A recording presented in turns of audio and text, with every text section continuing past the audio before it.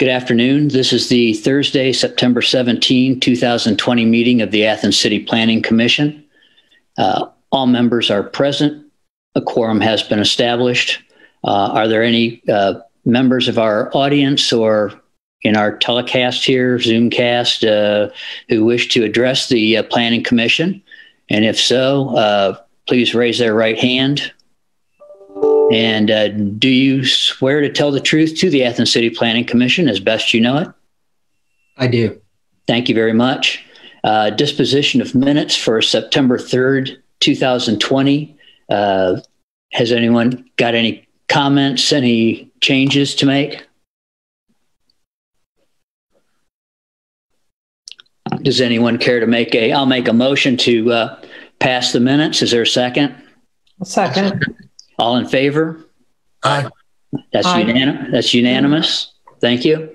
Uh, cases uh, number 20 dash. RJ, I'm sorry. Yes. excuse me, I'm sorry. Um, we need to start the meeting off sorry. with the public hearing first. Thank you. Forgot about that. Okay. Um, we're having a, uh public meeting, uh, public hearing uh, first uh, for the Harold Avenue major subdivision.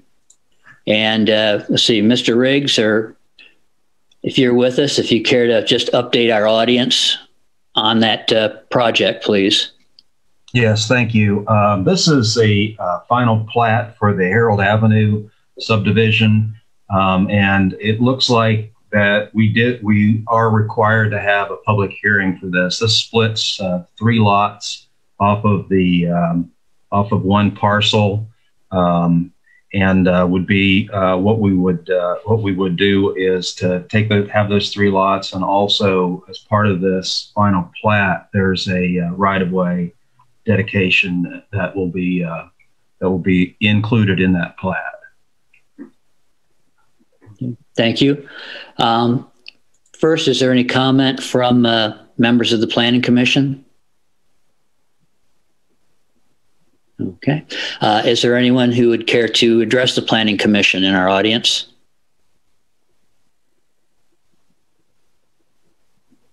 I'll take that as a no. Um, okay, so at this point, then, uh, we would conclude the uh, public hearing portion. Am I correct? Okay, and then we can just move into the case number uh, 20-06 Harold Avenue Major Subdivision. And Mr. Riggs has uh, already explained it. The, the legal notice appeared August 29, uh, 2020 in the Athens Messenger. Um, is there any comment, first of all, from uh, uh, the Planning Commission itself? Okay. Uh, anyone from our uh, audience uh, who would care to address the uh, Planning Commission on that uh, project? Okay. Um, would someone care to make a motion? I'll move that we recommend approval um, of case 2006 to city council. Thank you. I'll second. Um, all in favor? Aye. All opposed? Patty, that was unanimous as I see it. Thank you. Uh, going on to uh, case number uh, 20-10, the zoning designation for annexation of Old Hope Farm.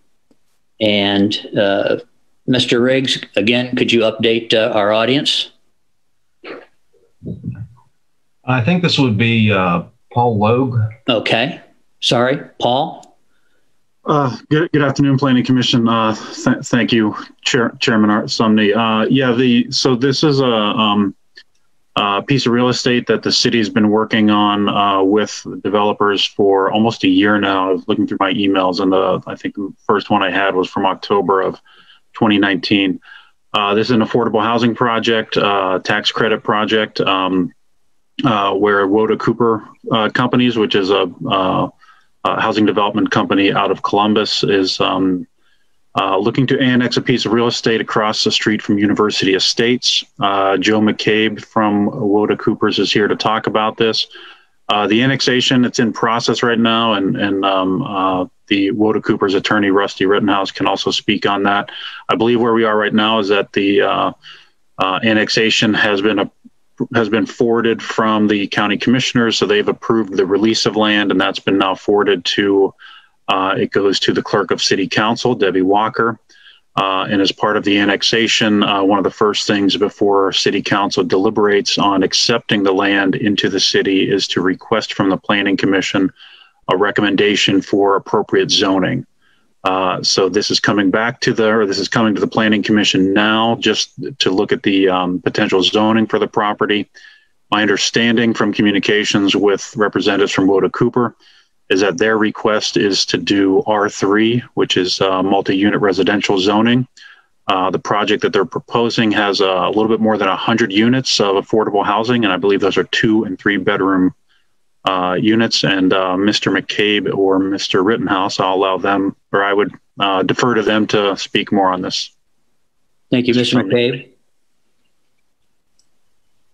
Sure. So uh, our, our, proposal is an initial uh, uh, phase of development um, that includes uh, placing 51 and 56 units straddling an existing pond at the site. Um, uh, that would produce an initial 107 units total uh, that we have financing secured for today. Um, it would be a much needed house, housing, uh, obviously, in the area. We've been in front of uh, uh, the Disabilities or uh, uh, Accessibility Commission here in the city. Um, a number of those units actually are accessible well above and beyond co- uh, code. Um, it is a, an affordable housing endeavor.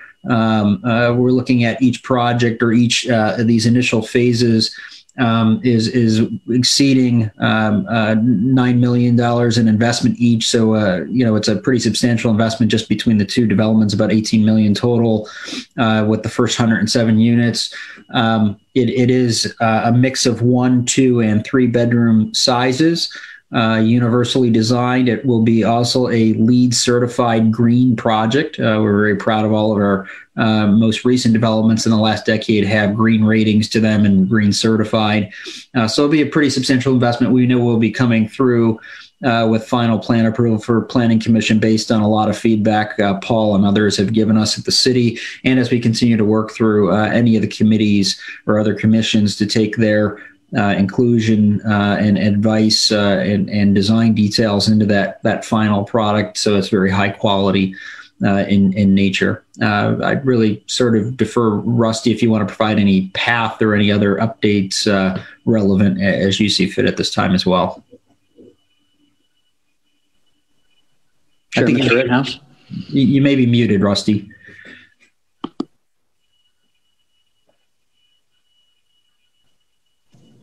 Can you hear me now? Yes. Sorry about that. Still getting used to Zoom. Um, yeah, just in the way of background, this is an annexation by agreement of the, uh, or we have previously reached an agreement between the township and the city regarding this property. Um, this creates an expedited type one annexation. The petition has been filed before the county commissioners and accepted and as Paul mentioned, has been uh, moved forward to uh, Debbie Walker. Um, I think it's going to stay there for a cooling off period for a, a period of time now, short of uh, what the, the commission or your commission is handling. Thank you, Mr. Mayor. Did you care to weigh in on? I I would, um, as was indicated earlier, you know, that there is a, a rather substantial need for affordable housing in the city of Athens. The Affordable Housing Commission has uh, has worked very hard on uh, not just acknowledging the fact, but also looking to see where can growth occur, where can we where can we start to um, explore the expansion of affordable housing in the city of Athens. The city's um, comprehensive plan speaks to this. And in particular, in this particular corridor, um, the city has limited ability to expand to the east due to the floodplain in which the city uh, um, would experience if there were growth that way. That is not the smart way to go. Uh, I think that this this project fits well in line with that. Um, I am also pleased to hear that the Commission on Disabilities has been involved in this because the Commission on Disabilities has also had concern um, with development and has clearly voiced their opinion of having universally designed um, housing as we look forward, a minimum of universal design. Uh, and then also the sustain environment sustainability commission to weigh in you know i'm i'm glad to hear uh, uh, Leeds Green that you're working on um, that fits within the city's not just vision, but what I would deem to be the mission of the city of Athens as we move forward. So, um, uh, Mr. Chair, I, I have I see no issues at all at this point in time with this moving forward.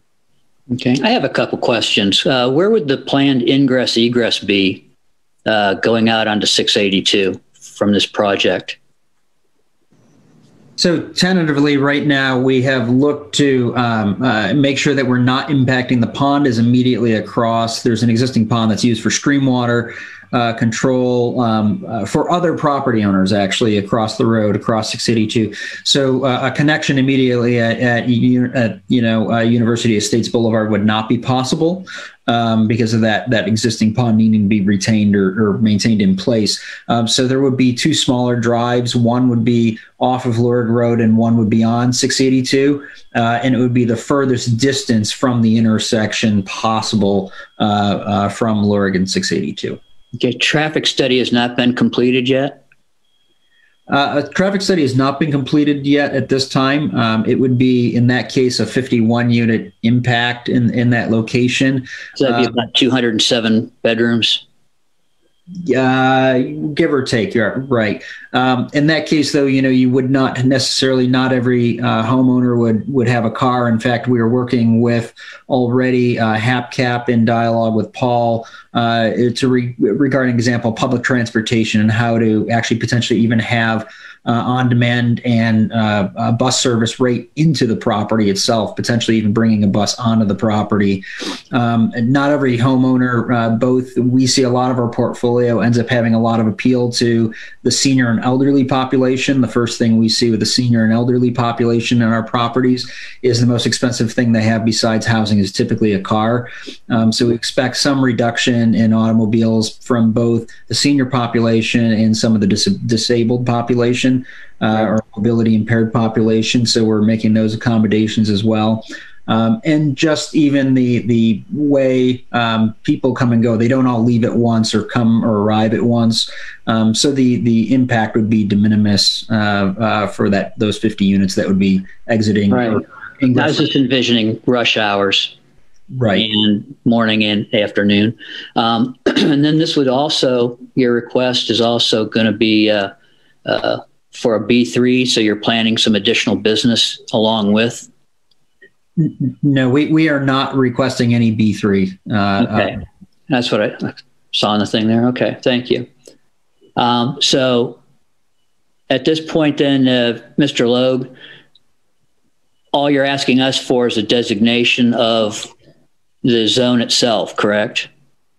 Correct. Yeah, under uh, the annexation process, um, the uh, the the first step. The, if the real estate is going to be accepted into the city, it has to have zoning designation with it. Mm-hmm. Um, under and so that's the process under ORC. Uh, once it's an, ex- an extent or as we get closer to the annexation being accepted, uh, they'll be uh, coming before uh, the city to get approval for uh, building plans and site plans, et cetera. However, they can't get approval for any building plans or site plans until we there's a zoning. They have to confirm that they meet the zoning designation. Okay. Yeah. Uh, are there any other questions, comments? Okay. Uh, does someone care to make a motion? I move to uh, adopt the rezoning plan for this particular case. Okay. All in favor? Second. Second. Oh, I'm sorry. There's a second. I second. Okay. Uh, all in favor? Aye. Okay. Uh, that would be uh, unanimous on that, Patty. Thank you. Uh, communication, uh, the 2040 comprehensive plan. Uh, part three continues with Mr. Logue. Uh, good afternoon, Mr. Logue. Would you care to begin? Sure. If I may, I'll uh, uh, do a share screen so I can bring up my PowerPoint if that works. Okay. Just one second.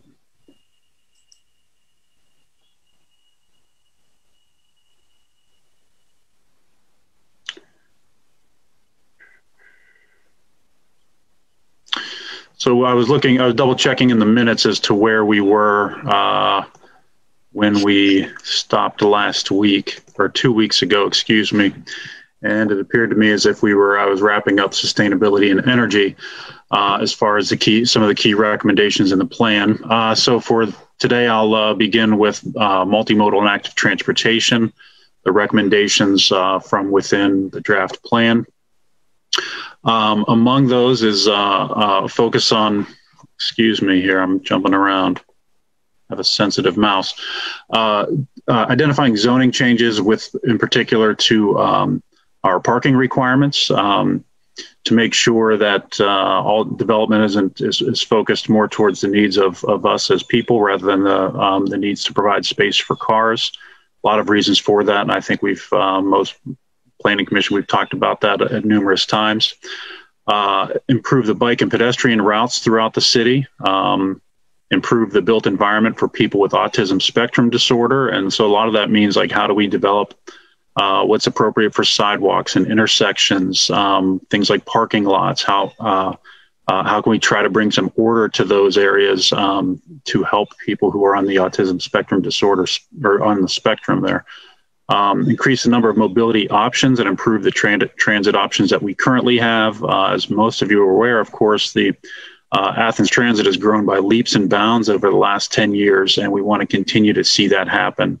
Uh, we also, uh, one of the key recommendations has to do with um, sidewalk clearance of snow and ice. And, uh, you know, typically and historically, that's been uh, the burden and the expectation for snow and ice removal citywide for sidewalks has been uh, that it's on the property owner to make sure that their sidewalks are clear. Oftentimes, they have they do have a lot of time with which to do that. I think it's uh, eight hours after the snowfall has stopped.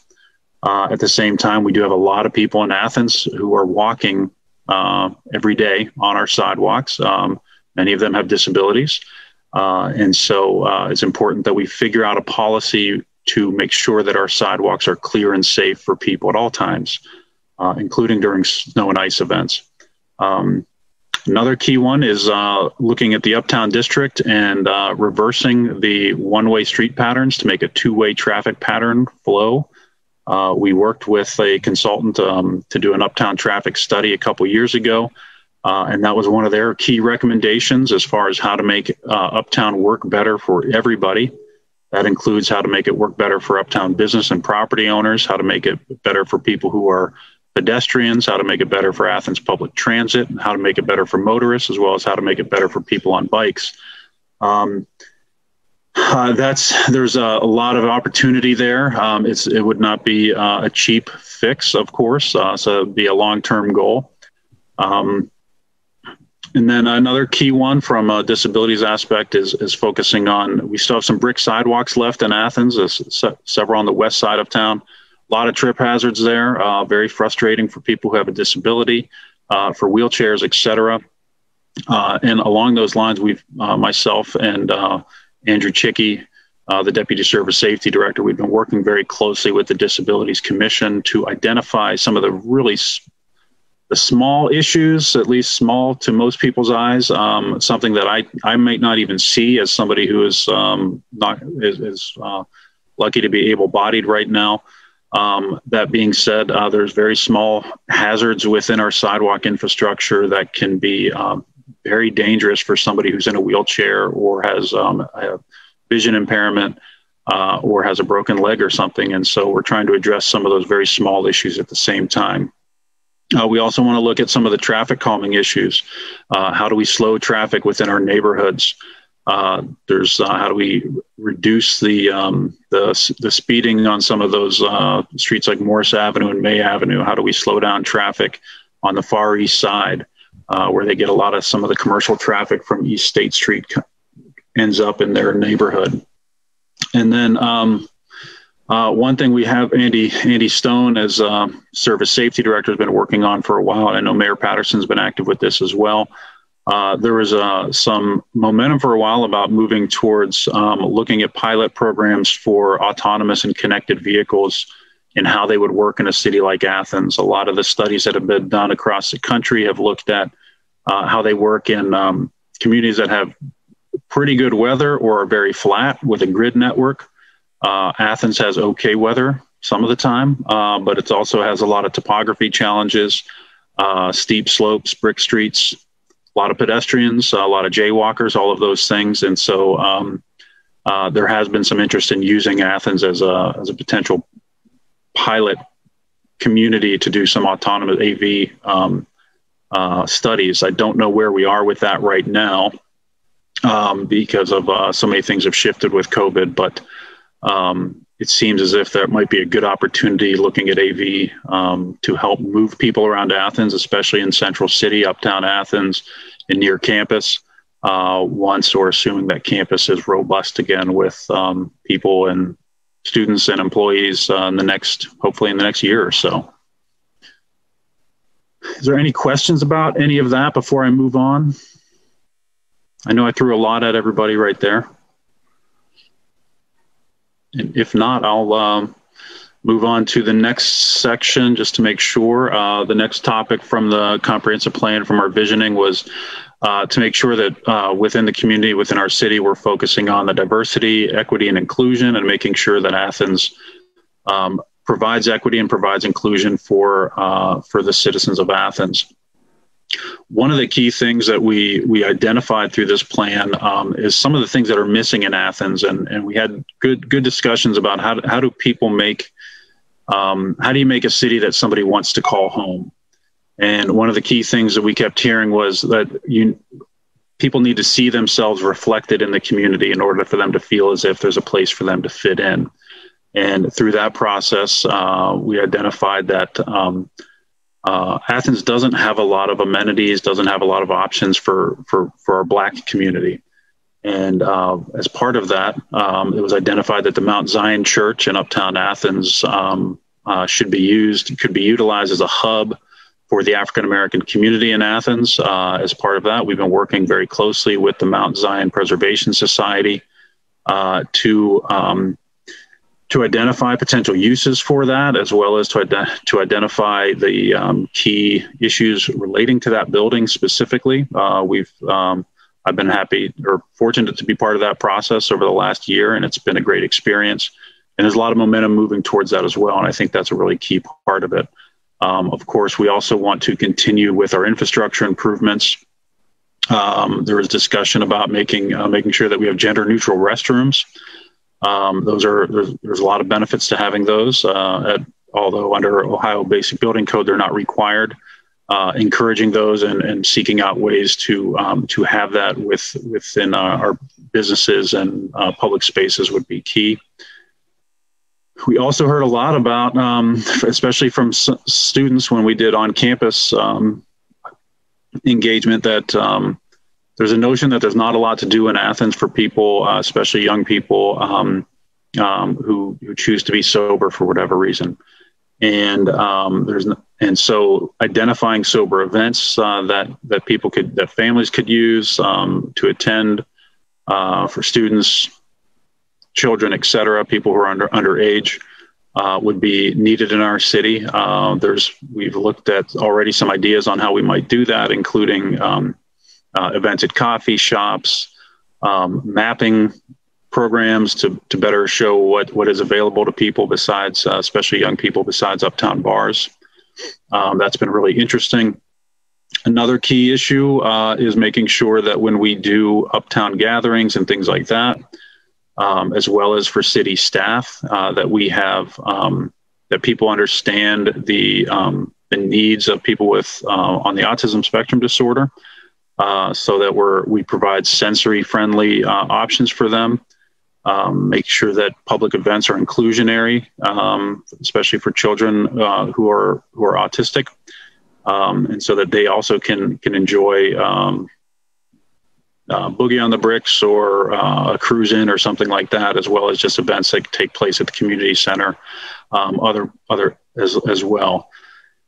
Uh, and then we also uh, there, there's a recommendation that the city council consider some tax incentives uh, for um, economic infrastructure uh, to businesses that are targeted towards some of those minority populations. Again, trying to find ways to um, to in- encourage a, a, community that is more inclusive and more diverse. And then, like I just mentioned, uh, there's what's called the Six Feelings Planning Framework for Autism Spectrum Disorder. That's a really emergent um, or emerging planning topic right now that hasn't that communities have not really addressed historically.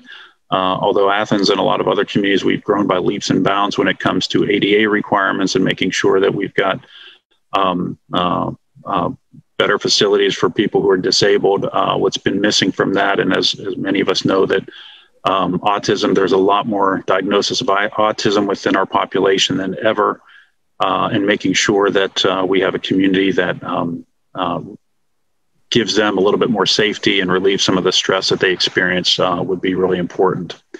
And like a lot of other planning aspects, uh, we've talked about uh, if you're planning a city for somebody on the autism spectrum disorder, just like if you're planning for a city for somebody who has a disability, or if you're planning for seniors, when you when you're planning for people um, who have the most need, everybody benefits from that from that process and the improvements that you make. What are examples of sensory friendly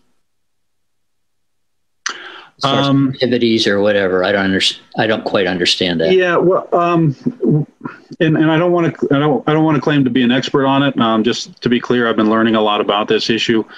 Um, my understanding is that when, um, among other things, is that uh, people who are on the autism spectrum, uh, they um, they can be overwhelmed by uh, stimulus, noise, um, sight, uh, just the, and they they get disoriented really quickly, in in locations and, and things where they're not um, where there's just a lot lot of chaos, or or they perceive chaos more than than I might as somebody who's neurotypical.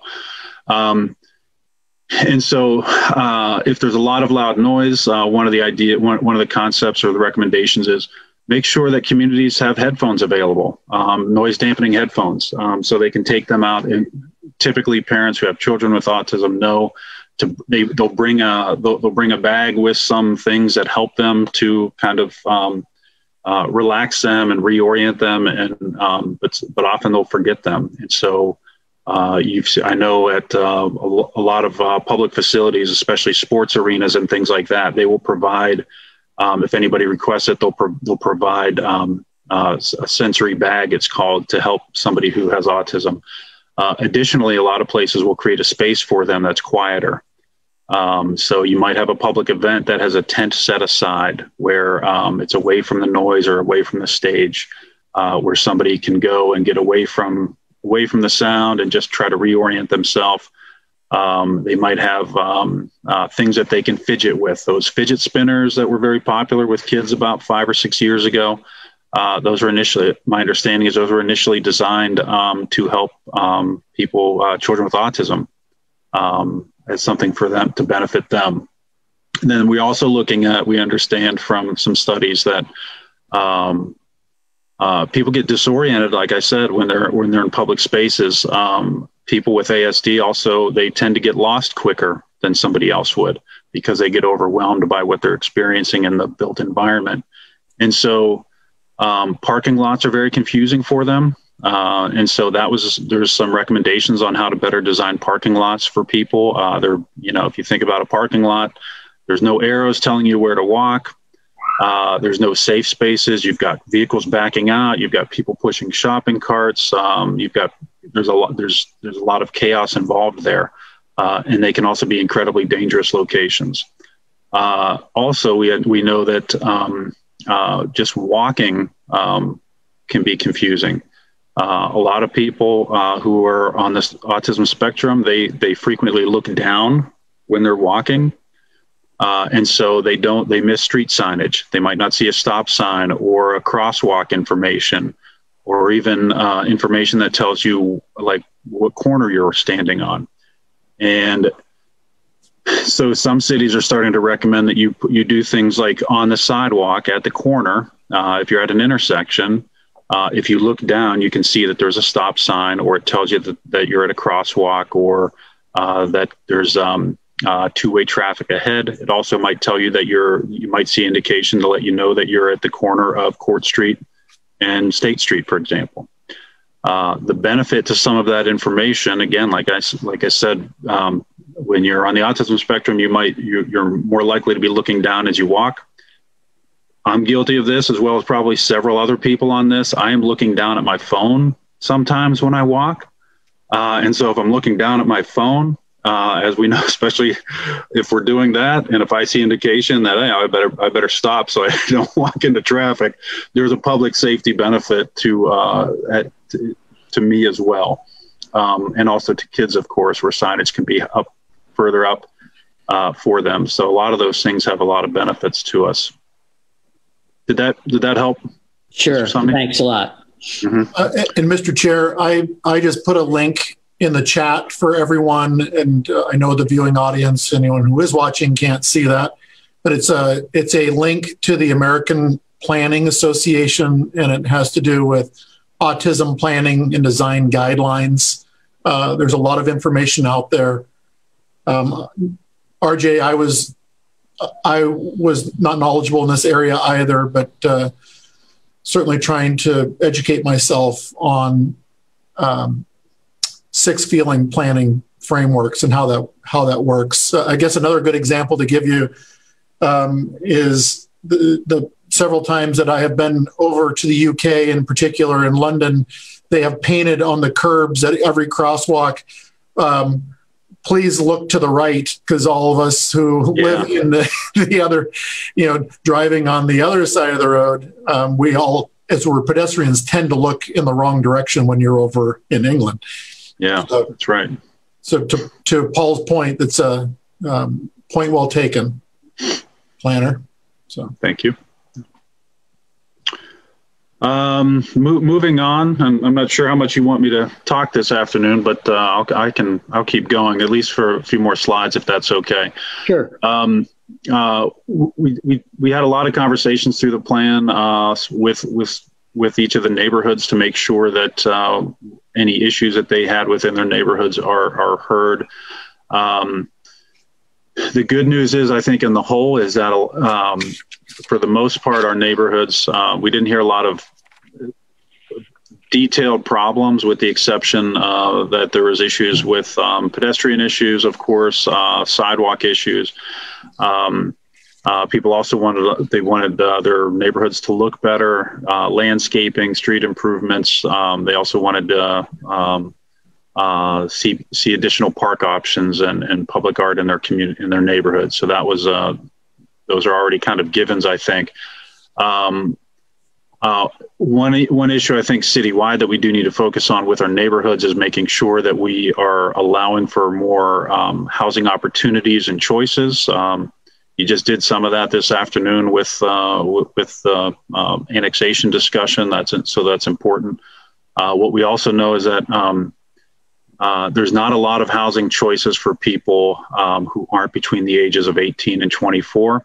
Uh, once once you're out of that age range, most of the housing we have is exclu- exclusively single family residential.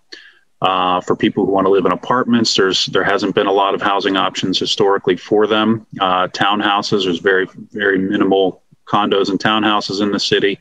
Uh, we also heard that people of all ages want to live closer to uptown and uh, they want to have the options of walking to campus or walking uh, uptown to bars and restaurants, uh, access to libraries and public transit, parks and recreation, all of those things. People want that stuff and they want to be closer to it.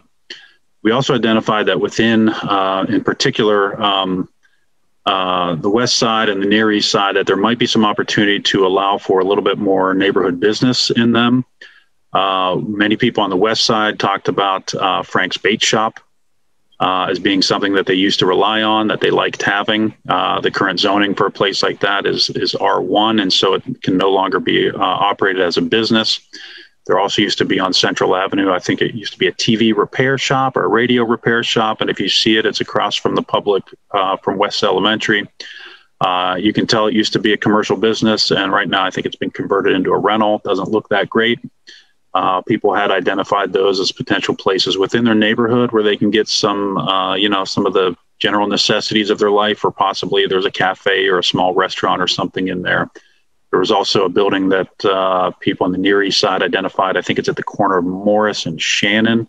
That also used to be some sort of uh, a small retail commercial storefront with an apartment upstairs, and right now that's been converted into two apartments.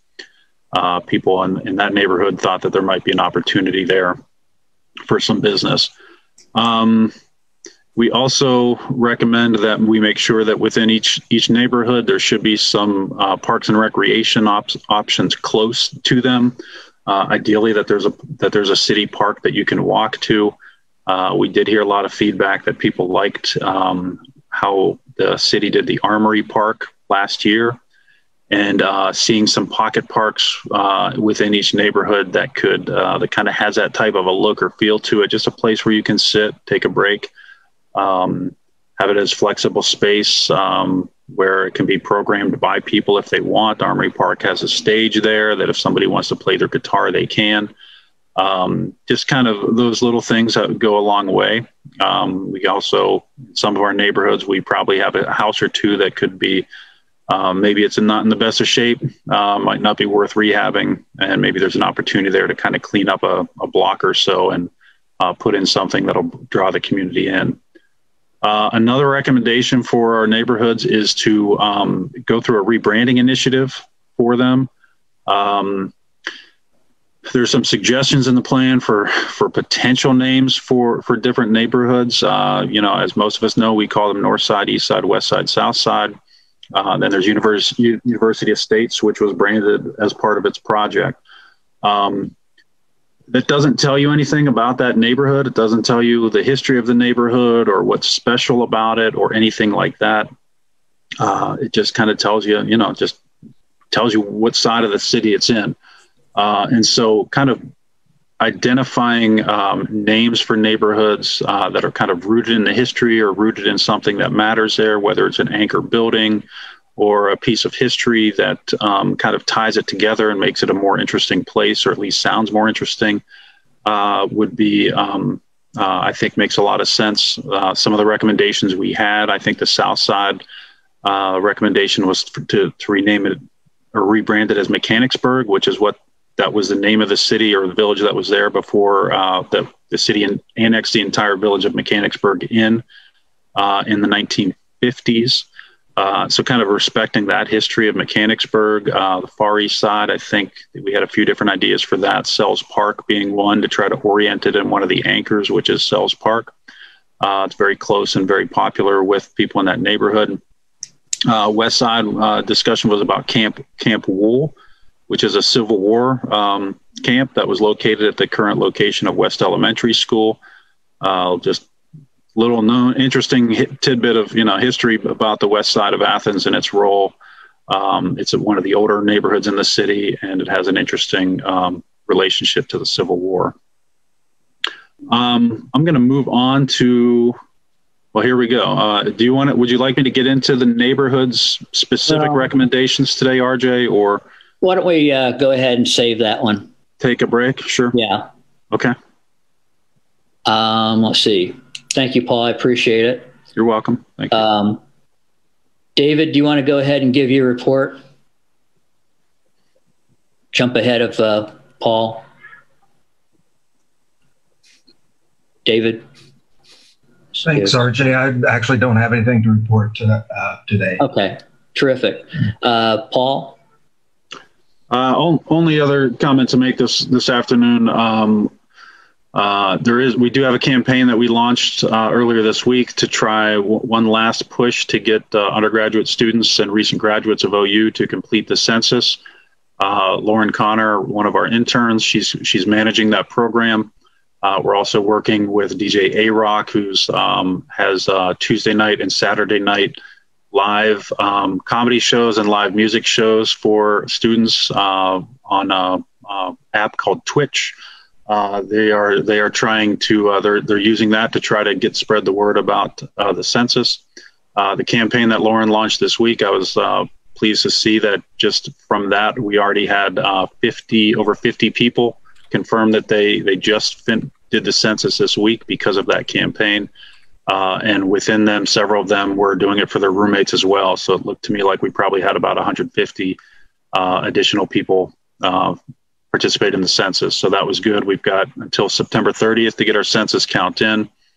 Uh, we also provided to the Census Bureau uh, the um, the information for uh, the roughly the 25 or 30 biggest landlords in Athens to try to arrange directly with the Census Bureau to touch base with those landlords to collect information.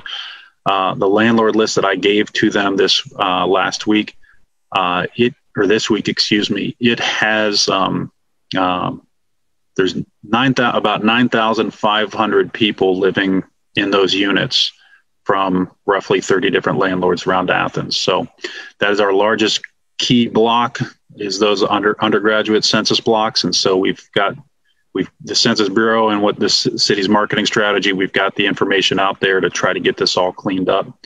And hopefully the Census Bureau is, is working really hard to make sure that they're they're giving us an accurate and complete count. That's all. Thank you. Thank you, Paul. Appreciate it. Um, an opportunity for citizens to speak on items not covered on today's agenda. Do we have anything on the sides there? Okay. Um, announcements and other business. Mr. Mayor, anything? To unmute. Um, I don't have anything other than to put an exclamation mark on what uh, the city planner mentioned about the census. You know, the shot clock is running and it's running down quickly. September 30th is the last day in which someone can be enumerated. Um, the city as a whole is running at about 58.1% uh, in comparison to the state, which is currently running at 69.9. Uh, we do have a couple, at least one census tract that is doing better than we did in 2010. Uh, and um, I might as well give props to the south side of the city for for uh, helping push that forward.